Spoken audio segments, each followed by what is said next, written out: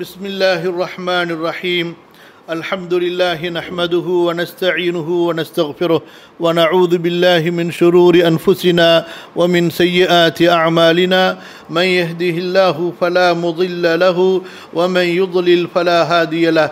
أشهد أن لا إله إلا الله وحده لا شريك له وأشهد أن محمدا عبده ورسوله. يا أيها الذين آمنوا اتقوا الله حق تقاته ولا تموتن إلا وأنتم مسلمون. رب زدني علما رب اشرح لي صدري ويسر لي امري اللهم علمني ما ينفعني وانفعني بما علمتني وزدني علما اللهم آتني تأويل القرآن وآتني فهم السنة وفقه الشريعة برحمتك يا رب العالمين மதிப்பிற்குரிய அல்லாஹ்வின் அடியார்களே கண்ணியத்திற்குரிய சகோதரர்களே சகோதரிகளே இமாம் நவவி ரஹிமஹுல்லா அவர்களுடைய நாற்பது நபிமொழி தொகுப்பு என்ற அந்த சிறு நூலிலிருந்து இருபத்தி நான்காவது ஹதீஸை இன்ஷா அல்லாஹ் இன்று படிக்க இருக்கின்றோம். இந்த ஹதீஸ் கொஞ்சம் நீளமான ஹதீஸ். ஆகவே சிறு சிறு பாராவாக இந்த ஹதீஸை படித்து அதனுடைய பொருளையும் கற்றுக்கொண்டு பிறகு அந்த ஹதீஸிலிருந்து நாம் பெற வேண்டிய பாடங்கள் படிப்பினைகளையும் பார்ப்போம் இன்ஷா அல்லாஹ். இந்த ஹதீஸை அபூதர் அல் கிஃபாரி ரதுயல்லாஹு அன்ஹு அவர்கள் அறிவிக்கிறார்கள். நபித்தோழர்களில் மி நபித்தோழர்களில் மிகவும் பிரசித்தி பெற்ற ஒரு சஹாபி ரசூல்லாஹுவிற்கு மிகவும் நெருக்கமானவர்கள் முந்தி இஸ்லாமை ஏற்றுக்கொண்ட சஹாபாக்களிலே ஒருவர். அன் அபி தர்ரினில் கிஃபாரி ரதியல்லாஹு அன்ஹு அனின் நபி சல்லல்லாஹு அலைஹி வசல்லம் அபூதர் அல் கிஃபாரி ரதியல்லாஹு அன்ஹு அவர்கள் நபிசல்லாஹு அலிஹி வசலம் அவர்களிடமிருந்து இந்த ஹதீஸை அறிவிக்கிறார்கள். ஃபீமா எர்வீஹி அர் ரப்பிஹி அஸ்ஸ வஜல்ல. நபி அவர்கள் சொல்லல்லாஹு அலிஹி வசல்லம் கண்ணியத்திற்கும் மதிப்பிற்கும் கம்பீரத்திற்கும் உரிய தன்னுடைய ரப்பிடமிருந்து இந்த செய்தியை அறிவிக்கின்றார்கள். அபூதர் கிஃபாரி ரதையல்லாஹு அன்ஹு அவர்கள் ரசூலுல்லாஹுவிடமிருந்தும் ரசூலுல்லாஹ் சல்லா அலிஸ்லம் அல்லாஹுவிடமிருந்தும் இந்த செய்தி அறிவிக்கின்றார்கள். ஆகவே இந்த ஹதீஸ் ஹதீஸுன் குதுசியுன். இப்படிப்பட்ட ஹதீஸுகளுக்கு ஹதீஸ் குதுசி என்று சொல்லப்படும். அதாவது குர்ஆன் அல்லாமல் குர்ஆன் அல்லாமல் எந்த செய்திகளை ரசூலுல்லா சல்லாஹூ அலஹி வசலம் அவர்கள் அல்லாஹுவின் புறத்திலிருந்து அறிவிப்பதாக கூறினார்களோ அதே ஹதீஸ் குதுசு என்று சொல்லப்படும். இதனுடைய கருத்து அல்லாஹுவின் புறத்திலிருந்து கொடுக்கப்பட்டிருக்கும். வார்த்தை ரசூலுல்லாஹுடைய வார்த்தையாக இருக்கும். குர்ஆன் என்பது வார்த்தையும் அல்லாஹுவின் புறத்திலிருந்து இருக்கும். கருத்தும் அல்லாஹுவின் புறத்திலிருந்து இருக்கும். லெஃபுதும் மானாவும் அல்லாஹுவின் புறத்திலிருந்து. இரண்டாவது வித்தியாசம் குர்ஆனை நாம் தொழுகையில் ஓத வேண்டும். இந்த ஹதீஸ் குதுசியை பொறுத்தவரை தொழுகையில் நாம் இதை ஓத முடியாது. அதுபோன்று குர்ஆனுடைய வார்த்தைகளை படிப்பதே நமக்கு நன்மையாக இருக்கும். ஹதீஸ் குதுசியை பொறுத்தவரை அதனுடைய வார்த்தைகளை படிப்பதை மட்டும் நமக்கு நன்மை என்று கூற முடியாது. மாறாக கல்வியாக கற்பதுதான் நமக்கு அது நன்மையாக இருக்கும். இப்படியாக சில வித்தியாசங்கள் இருக்கின்றன. குர்ஆனுக்கும் ஹதீஸ் குதுசிக்கும். இது ஹதீஸ் குதிசியாகும். ரசூலுல்லா சல்லாஹூ அலஹி வசல்லம் அவர்கள் தங்களது ரப்பிடமிருந்து இந்த செய்தியை அறிவிக்கின்றார்கள். அன்னஹூ கால் அல்லாஹு தாலா கூறுகிறான் யா இபாதி எனது அடியார்களே யா இபாதி அபுதுடைய பன்மை இபாத் யா இபாதி எனது அடியார்களே குல்லுக்கும் லால்லுன் நீங்கள் எல்லோரும் வழிகட்டவர்கள்தான். நீங்கள் எல்லோரும் வழிகேட்டில்தான் இருக்கிறீர்கள். இல்லா மன் ஹதைத்துகு யாரை நான் நேர்வழிப்படுத்தினேனோ யாருக்கு நான் நேர்வழி காட்டினேனோ யாரை நான் நேர்வழியில் செலுத்தினேனோ யாரை நான் நேர்வழியில் உறுதிப்படுத்தினேனோ அவர்களை தவிர. நன்று நன்காக கவனியுங்கள். மன்னிக்கணும். ஹதீஸிலிருந்து ஒரு வரியை விட்டுட்டோம். யா இபாதி எனது அடியார்களே இன்னி ஹர்ரம் து துல்ம அலா நப்சி எனது அடியார்களை நிச்சயமாக நான் அநியாயம் செய்வதை எனக்கு ஹராமாக்கி கொண்டேன். வரம்பு மீறுவதை அத்து மீறுவதை ஒருவருக்கு அநியாயம் செய்வதை நான் என் மீது ஹராமாக்கி கொண்டேன். வஜஅல்துஹு பைனக்கும் முஹர்ரமா. நான் அதை உங்களுக்கு மத்தியிலும் ஹராமாக்கப்பட்ட ஒன்றாக தடுக்கப்பட்ட ஒன்றாகவே ஆக்கியிருக்கிறேன். ஃபலா தலாலமும் ஆகவே நீங்கள் உங்களுக்குள் ஒருவர் மற்றவருக்கு அநியாயம் செய்யாதீர்கள். கவனிங்க ஹதீசனுடைய இந்த ஒரு பகுதிக்குள்ளார நம்ம போவோம். அல்லாஹ் சுபஹானஹுவ தாலா எப்போதுமே தன்னுடைய அடியார்களை அழைப்பதிலே அழகான வழிமுறையை அவன் கையாளுகிறான். குர்ஆனிலும் சரி ஹதீஸ் குதுசிகளிலும் சரி. குர்ஆனிலும் பார்த்தால் யா யுகல்லதீனாமனு நம்பிக்கையாளர்களே என்று இருக்கும்.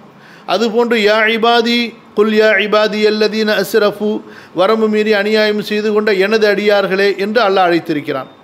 அதே போன்ற அதே போல் ஒரு அழகான அழைப்பு தான் இந்த ஹதீஸ் குதுசியிலும் அழைக்கப்பட்டிருக்கிறது எனது அடியார்களே. இந்த ஒரு அழைப்பை ஒரு உண்மையான முக்மின் ஒரு அடியான் செவியுறும் போதே அவனுடைய உள்ளத்திலே அல்லாஹுடைய ரப்புடைய ஜலாலியத்தும் அவனுடைய ஆதமத் மகத்துவமும் அவனுடைய முகப்பத்தும் வந்துவிடும் வந்துவிட வேண்டும்.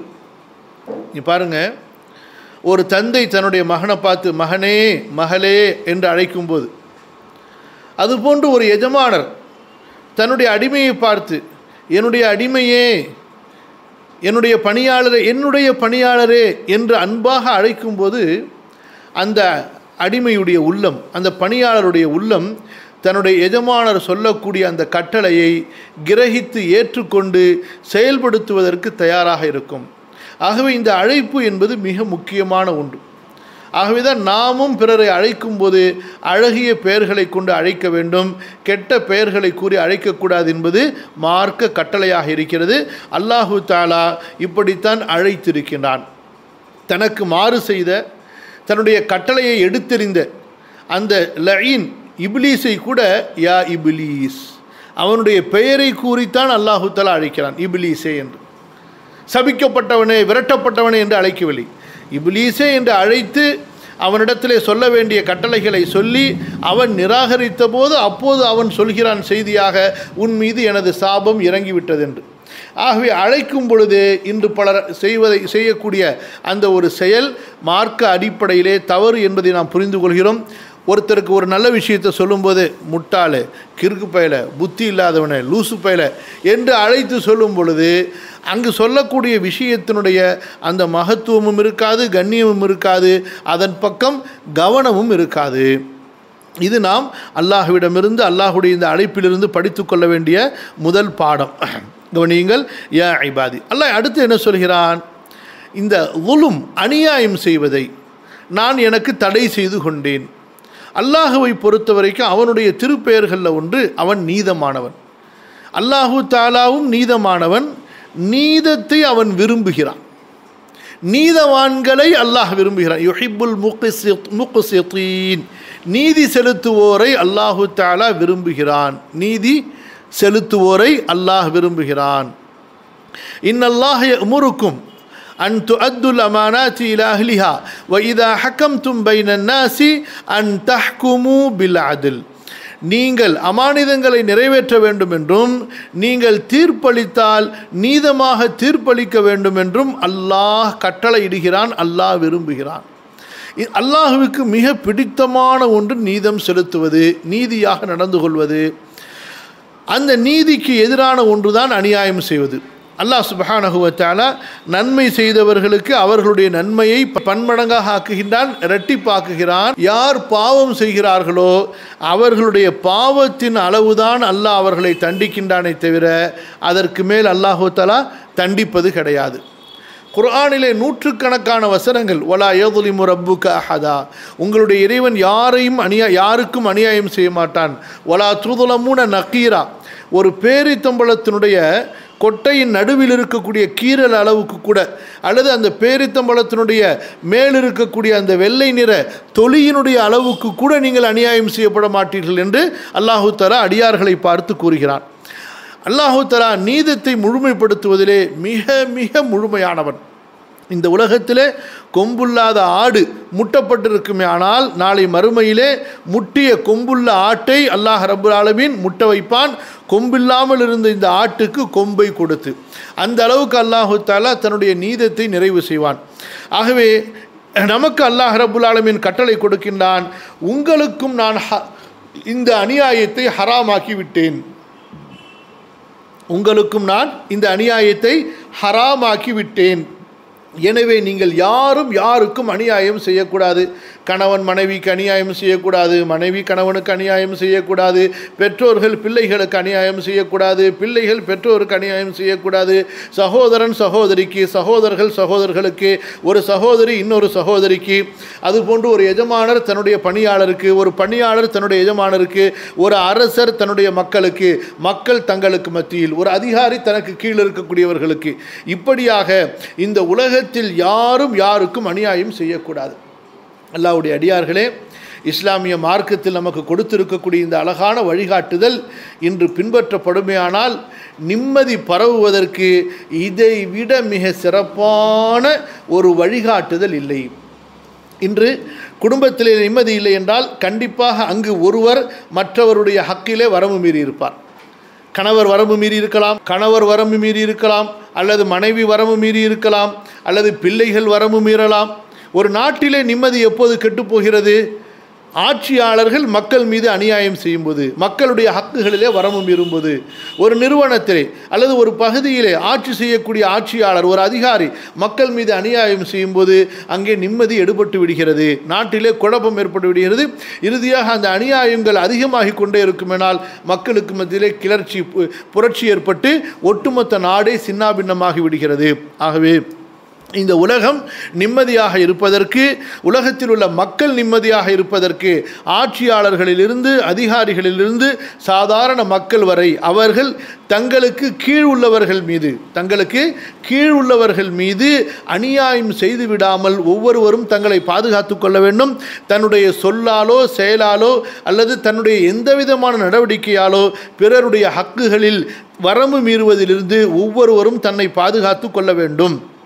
அடுத்ததாக அப்படி பாதுகாக்க தவறினால் அவர் அநியாயம் செய்வாரேயானால் இந்த உலகத்தில் அவர் எப்பேற்பட்ட மனிதராக இருந்தாலும் சரி நாளை மறுமையில் கண்டிப்பாக அவருடைய அநியாயத்திற்காக அவரிடமிருந்து பழி வாங்கப்படும் பழி தீர்க்கப்படும். அநீதி இழைக்கப்பட்டவருக்கு அநீ நீதத்தை வாங்கி கொடுக்காமல் அல்லாஹு தாலா நாளை மறுமையிலே விடமாட்டான். நாளை மறுமையில் இந்த உலகத்தில் வாழ்ந்த பெரிய அரசர்களும் அதிகாரிகளும் அல்லாஹ்விடத்திலே தனிமையாக வருவார்கள். அவர்களுடைய மந்திரிகள் அங்கே இருக்க மாட்டார்கள். அவர்களுடைய படைகள் அங்கே இருக்காது அவர்களுடைய செல்வம் அங்கே இருக்காது. தனியாக அவர்கள் வந்திருப்பார்கள். பயந்தவர்களாக வெட்கி தலைகுனிந்து அல்லாவுக்கு முன்னால் அவர்கள் நிற்பார்கள்.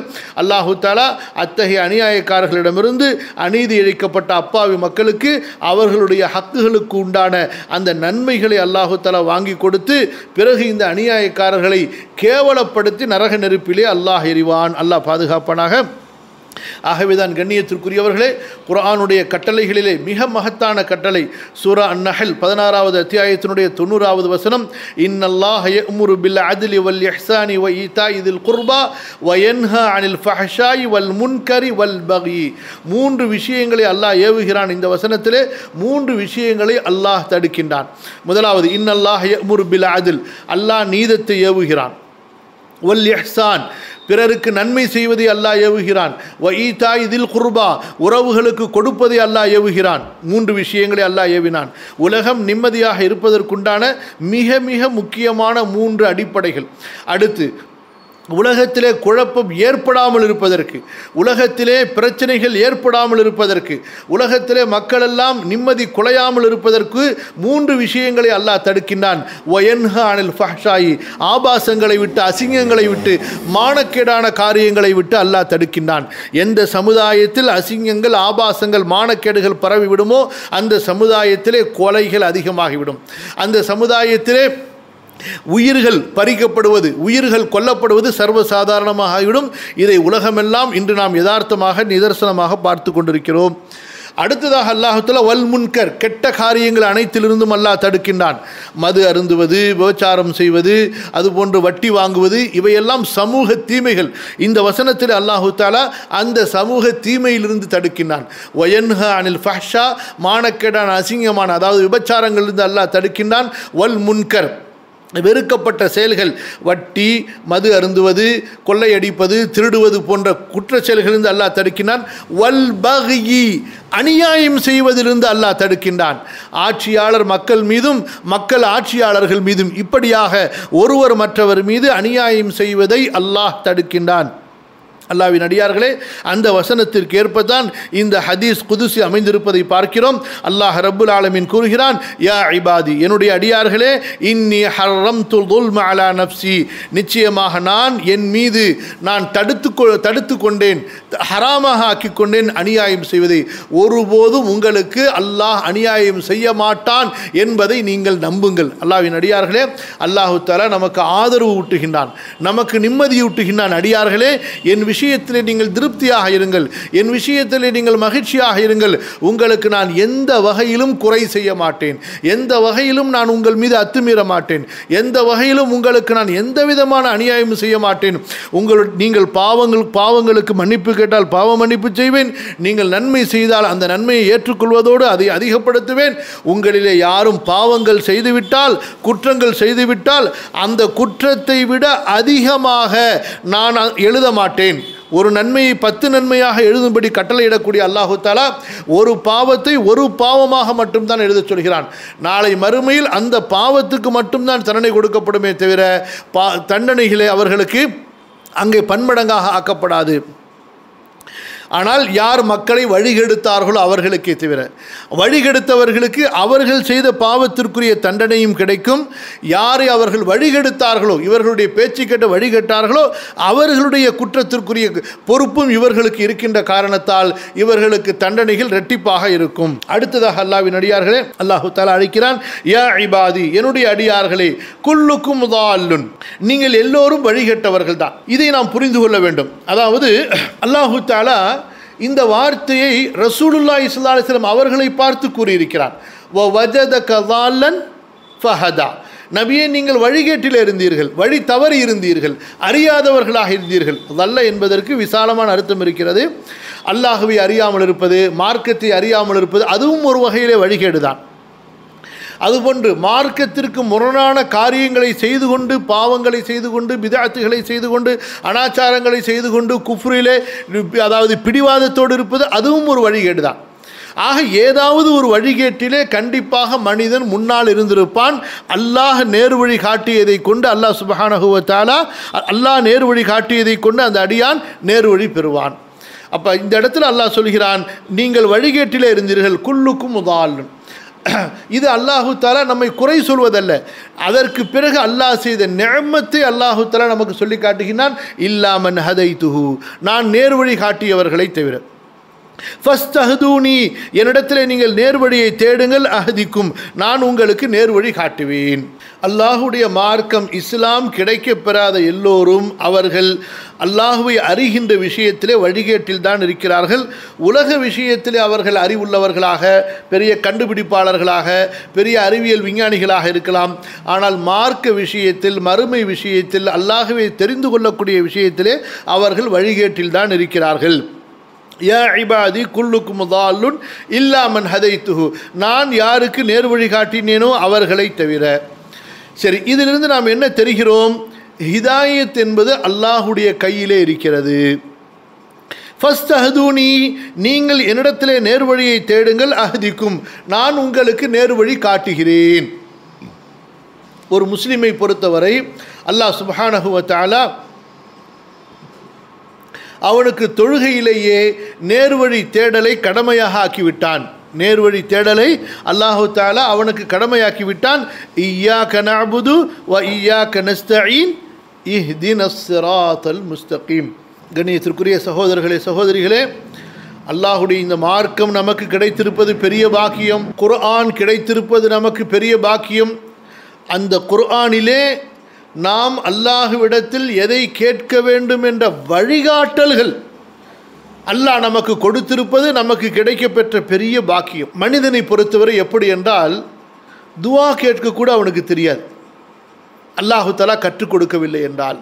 ஒவ்வொரு நல்ல விஷயத்தையும் நாம் அல்லாஹ்விடமிருந்து அவனுடைய வேதத்தின் வெளிச்சத்திலே கற்றுக்கொள்ள வேண்டும்.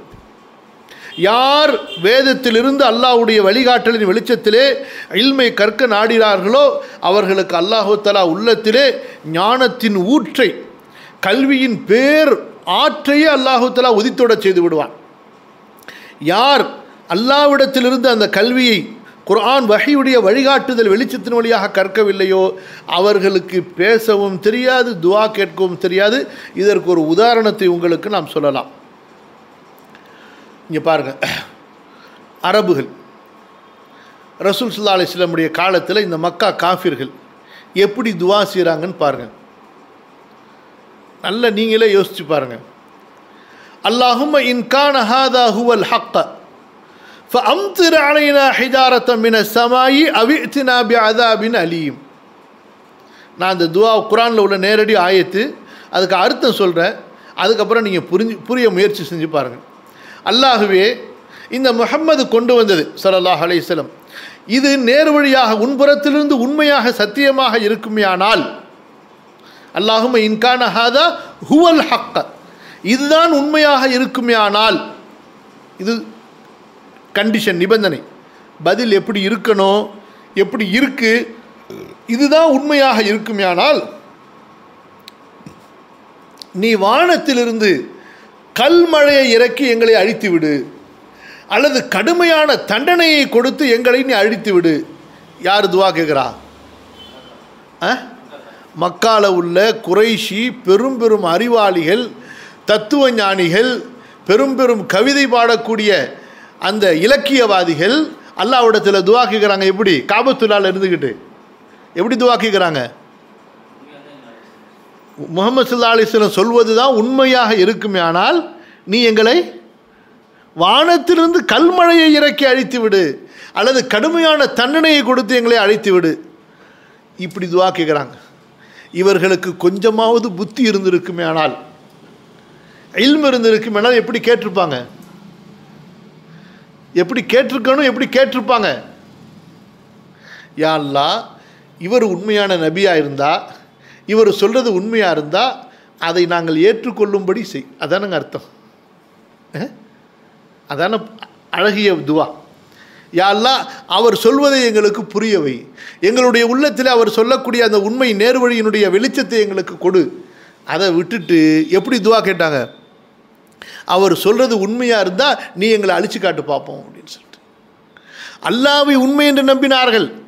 அல்லாஹ் அல்லாஹ் இருக்கிறான் என்பதை நம்பினார்கள். ஆகவே தான் இப்படி துவா செய்கிறாங்க அவர்கள் உண்மையிலேயே ஈமான் ச- சரியாக இருந்திருக்குமே ஆனால் அல்லாஹ்வின் மீது அவர்கள் இப்படி கேட்டிருப்பார்கள். இது ஏன் சொல்கிறோம்னு சொன்னால் குரானை கற்காத ஒவ்வொருவரும் வழிகேட்டிலும் மூடத்தனத்திலும் தான் இருக்கிறார்கள். அவர்கள் உலக விஷயத்தில் எவ்வளவுதான் புத்திசாலிகளாக இருந்தாலும் சரியே இதுக்கு உதாரணம் உலகமெல்லாம் இன்றைக்கு எத்தனையோ அறிவியல் விஞ்ஞானிகள் கடந்த காலத்தில் சென்றவர்கள் இப்போது இருப்பவர்கள் எத்தனையோ நூதன நூதனமான கண்டுபிடிப்புகளை எல்லாம் கண்டுபிடிக்கின்றார்களே.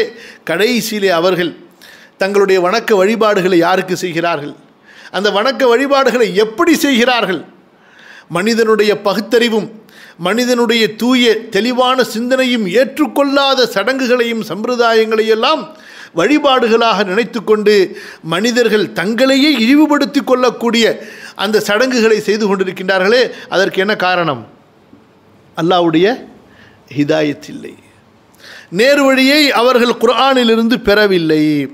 அல்லாஹு தாலா சொல்கிறான் எனது அடியார்களே நீங்கள் எல்லாம் வழிகட்டவர்கள் நான் ஹிதாயத்து கொடுத்தவரை தவிர எனவே என்னிடத்திலே நீங்கள் ஹிதாயத்தை தேடுங்கள் நான் உங்களுக்கு ஹிதாயத்தை கொடுப்பேன். ஆகவே தான் தொழுகையில் நம்ம சூரத்துல் ஃபாத்திஹாவை சடங்காக நினைத்து ஓதவே கூடாது. ஒவ்வொரு தடவை இஹ்தின சராத்தல் முஸ்தகீம் என்று சொல்லும் போதும் மனசில் என்ன இருக்கணும்? இந்த இஹ்தின சிராத்துல் முஸ்தகீம் என்பதற்கு இமாம் இபுனு கசீர் மூன்று விளக்கங்களை சொல்கிறாங்க நம்ம சூரத்துல் ஃபாத்திஹாவுடைய தப்சீரில் படித்தோம் மஜ்லிசுல் குரானில் ஒன்று நேர் வழியை எனக்கு காண்பித்து கொடு. இரண்டாவது அந்த நேர் வழியில் என்னை செலுத்து. மூன்றாவது இறுதி வரை என்னை அந்த நேர் வழியிலே இருக்கவை என்னுடைய முடிவு அந்த நேர் வழியில் இருக்கின்ற வரை எனக்கு அந்த நேர் வழியை என்னிலே பலப்படுத்தி கொடு என்னை அந்த நேர் வழியிலே பலப்படுத்தி கொடு. அடுத்து இன்னொரு துவா நேர்வழி நேர்வழி கேட்பது ஒரு துவா. அடுத்தது வழிகேட்டிலிருந்து பாதுகாப்பு. அதுவும் எப்படி? ரப்பனா லா துசு குலூபனா? ரப்பனா லா துசு குலூபனா?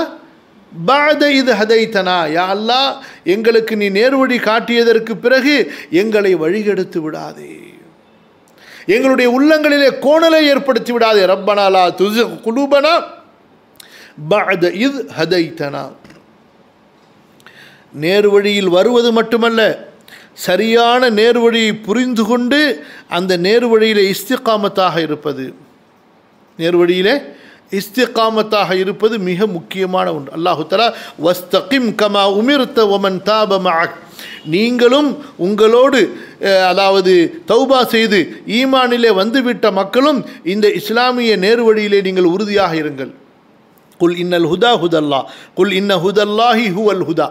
இப்படி பல வசனங்கள் அல்லாஹு தஆலா சொல்கிறான் அல்லாவிடமிருந்து எது வந்ததோ அதுதான் நேர்வழி. இதை நல்லா புரிஞ்சு கொள்ளணும் புரிஞ்சு கொள்ளணும் புரிஞ்சு கொள்ளணும் ஃப இம்மா எழுத்து எண்ணக்கும் மின்னி ஹுதா. என்னிடமிருந்து உங்களுக்கு நேர்வழி வந்தால்.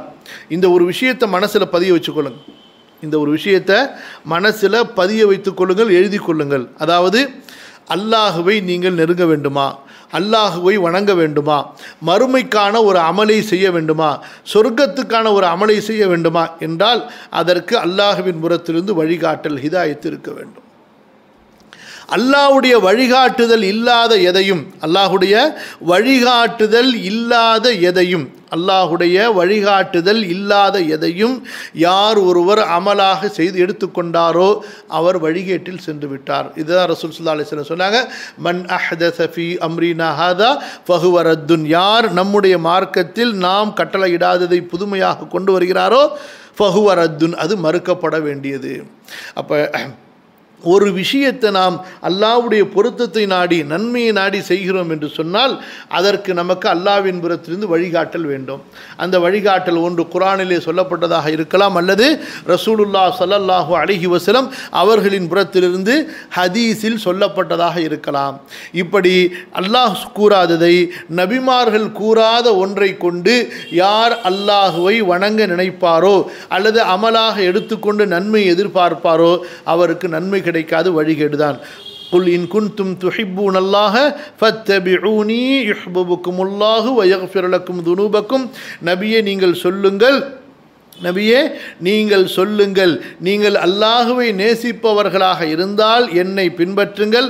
அல்லாஹ் உங்களை நேசிப்பான் உங்கள் பாவங்களை மன்னிப்பான். முடிஞ்ச அவ்வளோதான் ஒயின் துத்தி துத்தீஊஹு தஹ்தது ஒயின் துத்தீஊஹு தஹ்தது. நீங்கள் நபிக்கு கீழ்ப்படிந்து நடந்தால்தான் நீங்கள் ஹிதாயத்து பெறுவீர்கள். அப்போ தெளிவாக அல்லாஹு தலா சொல்லிவிட்டான். ஹிதாயத் எங்கே இருக்கிறது? ஃபி இத்தாஅத்தில்லாஹி வ இத்தாஅத்திர் ரசூலி ஸல்லல்லாஹு அலஹி வசலம் அல்லாஹுவிற்கு கீழ்ப்படிவதிலும் அல்லாஹ்வுடைய தூதருக்கு கீழ்ப்படிவதிலும் தான் நமக்கு ஹிதாயத் இருக்கிறது. ஒரு மனிதர் அல்லாவுக்கு கீழ்ப்படியாமல் ரசூலுக்கு கீழ்ப்படியாமல் அது தன்னுடைய அறிவுக்கு கட்டுப்பட்டாலும் சரி அல்லது தன்னுடைய மூதாதையர்களுக்கு கீழ்ப்படிந்தாலும் சரி அல்லது யாருக்கோ அல்லாவையும் ரசூலையும் விட்டுவிட்டு பிறருக்கு கட்டுப்பட்டு விட்டு ஒரு மனிதர் நேர்வழியை தேடுவாரேயானால் அவருக்கு நேர்வழி கிடைக்காது. நேர்வழியிலிருந்து மஹ்ரூமாக்கப்பட்டு விடுவார். அதுபோன்று நேர்வழி கிடைக்க வேண்டும் என்று விரும்பக்கூடியவர்கள் குர்ஆனுக்கும் ஹதீஸுக்கும் தங்களுடைய உள்ளத்தை விசாலமாக திறந்து வைத்திருக்க வேண்டும்.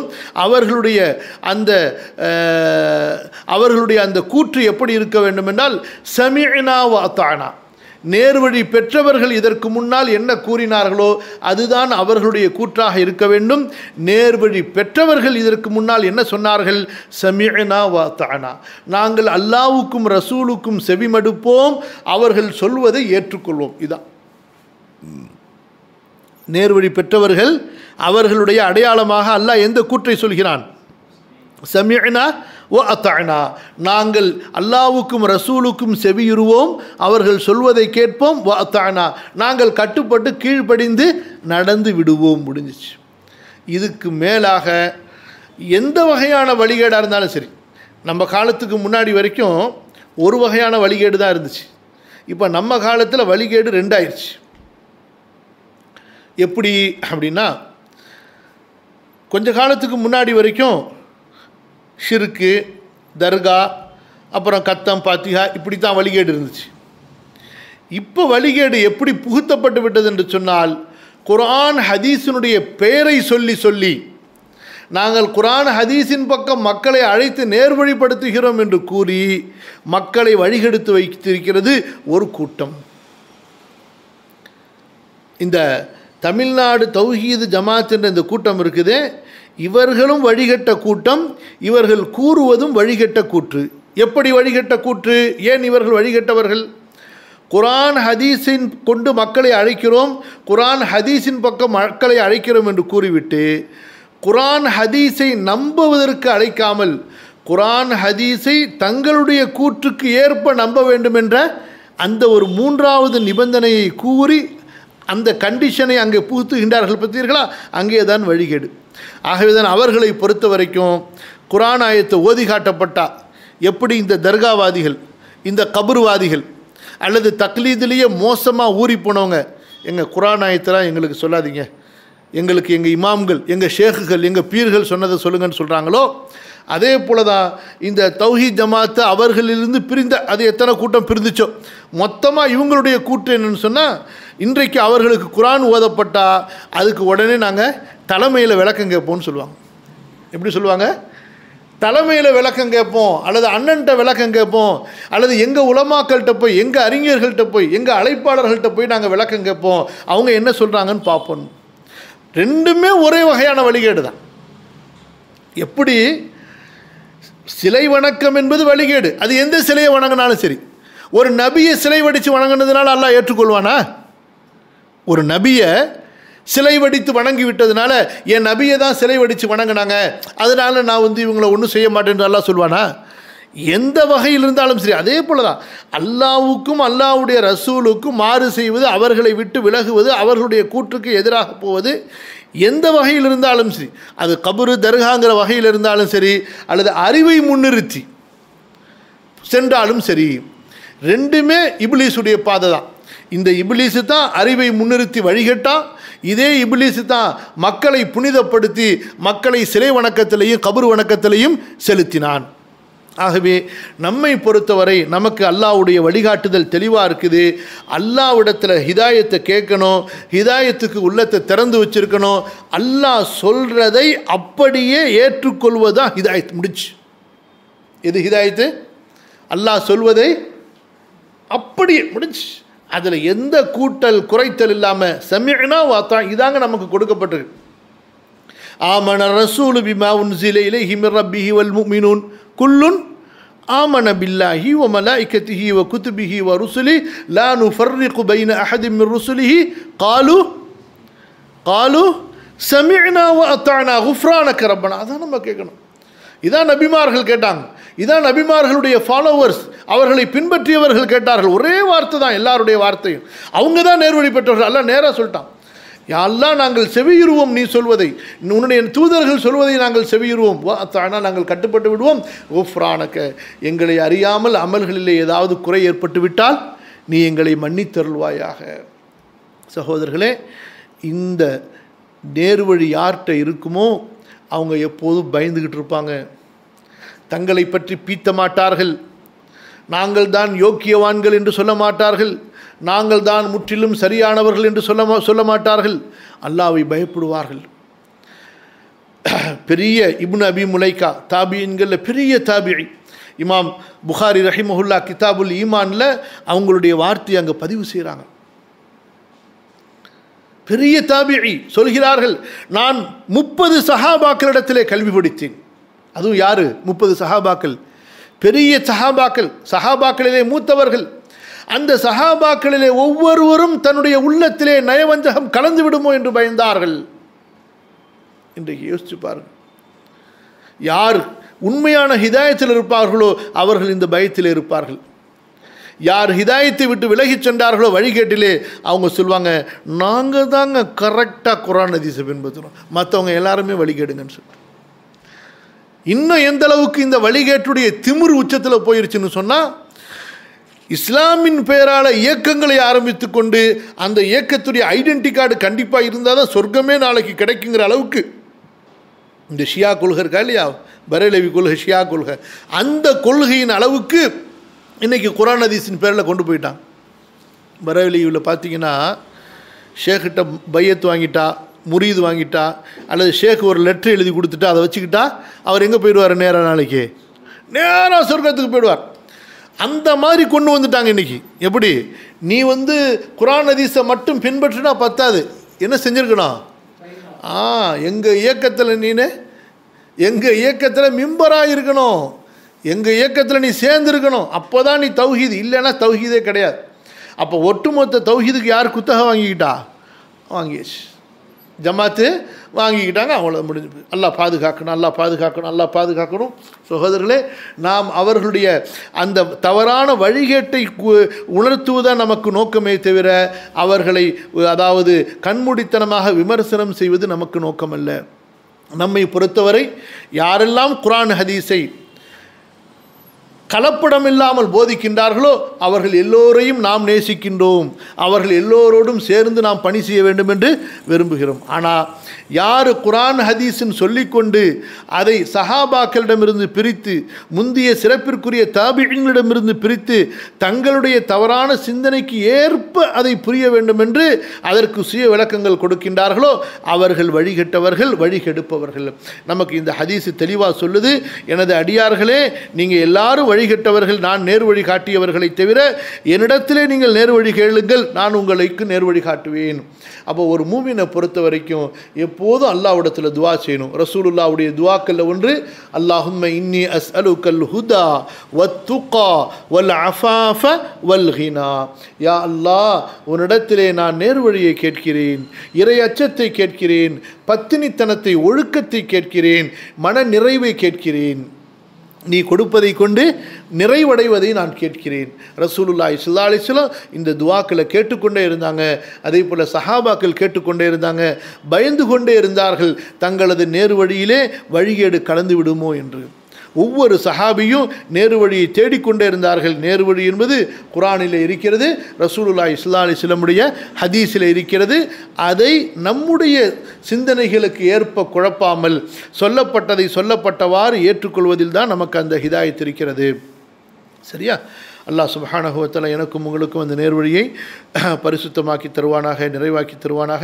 ஹதீஸினுடைய மீதி பகுதிகளையும் அதனுடைய படிப்பினைகளையும் இன்ஷா அல்லா அடுத்த அடுத்த அமர்வுகளை பார்ப்போம். சுபஹானக் அல்லாஹ் பிஹம்திக அஷ்ஹது அன் இலாஹ இல்லா அன்த அஸ்தக்ஃபிருக வ அத்தூபு